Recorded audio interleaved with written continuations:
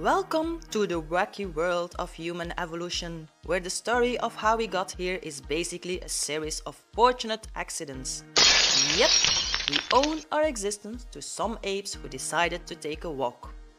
Let's rewind the clock and take a stroll down memory lane, way back to about 4 million years ago. That's when our ancestors, the Australopithecus, decided to branch out, pun intended, from the tree dwelling lifestyle and try something new. These daredevils began to walk upright, swapping their tree houses for a more grounded perspective. Walking on two legs might not seem like a big deal to us, but for these early hominids, it was a real game changer. By standing tall, they could see over tall grass, spot potential predators, and even carry food and babies. Imagine trying to juggle a few apples, a baby, and still stay in the tree. Not a pretty picture, right? But it wasn't just their walking habit that set our ancestors apart. They also had smaller canines than their predecessors. This might seem like a disadvantage, but it actually played a key role in their survival. Smaller teeth meant they didn't need to compete for the same resources as their larger toothed cousins. Instead, they could munch on a wider variety of foods, including fruits, nuts, and roots. And let's not forget the pièce de résistance, their larger brain size. This allowed Australopithecus the mental capacity to develop basic tools, which in turn helped them to better adapt to their environment. It's kind of like upgrading from a flip phone to a smartphone. Suddenly, you've got all these new possibilities at your fingertips. So, there you have it. Our first steps on the long road of evolution were taken by a bunch of upright walking, small toothed, big brained apes who decided to trade in their tree dwelling lifestyle for a bit of an adventure on the ground. So, next time you take a walk, remember, you are just following in your great, great, great, great, you get the point, ancestors' footsteps. Now, let's dial back the clock about 2.3 million years. We are in the early Stone Age. The star of our show is Homo habilis, which translates as handyman. No, they didn't have a van and a tool belt, but they were the first of our ancestors to really get to grips with tools. You see, Homo habilis was a bit of an overachiever in the evolution games. They had brains about 50% larger than those Australopithecus their predecessors. This increase in brain size meant they could start to do some really groundbreaking things, like making and using tools. Imagine the scene. A group of Homo habilis sitting around, one of them picks up a rock and smashes it against another. Lo and behold, a sharp edge is created. This wasn't just a random act of stone bashing, this was the birth of the first ever Swiss army knife, minus the tweezers and that weird thing for getting stones out of horse hooves. These stone tools were a big deal. They allowed Homo habilis to cut meat, break open bones to get the nutritious marrow inside, and even shape wood. It was the dawn of a new era, where brains started to triumph over brawn. The use of tools didn't just make life easier, it shaped our evolution. With tools, Homo habilis could access new foods, which fueled their growing brains. It was a virtuous cycle. Bigger brains led to better tools, which led to more food, which led to even bigger brains. And it's not just about the food. The ability to make and use tools required advanced cognitive skills. It was a sign that our ancestors were starting to think in complex ways. They were solving problems, planning ahead, and maybe even teaching each other. So, next time you can't assemble that IKEA furniture, don't feel too bad. Our ancestors had a few million years of practice. Ever try to start a fire without a lighter? Yeah, me neither. But our ancestors, Homo erectus, they were the original fire starters. Let's take a trip back in time, about 1,800,000 years ago, to when Homo erectus roamed the earth. These guys were the first of our ancestors to master fire, a feat that quite literally sparked a revolution. Fire, you see, was a game changer. It provided warmth, keeping them safe from the harsh elements and nasty predators. It offered light, extending their days beyond sunset.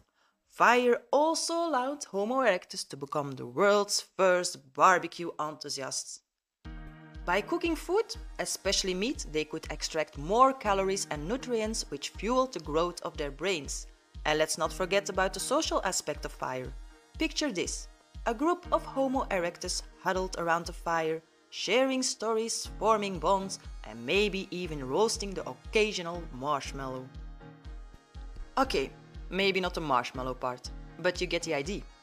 Fire was a catalyst for social cohesion and communication crucial elements in our evolution. But that's not all. These fire starters were also the first hominids to pack their bags and explore the world beyond. Africa.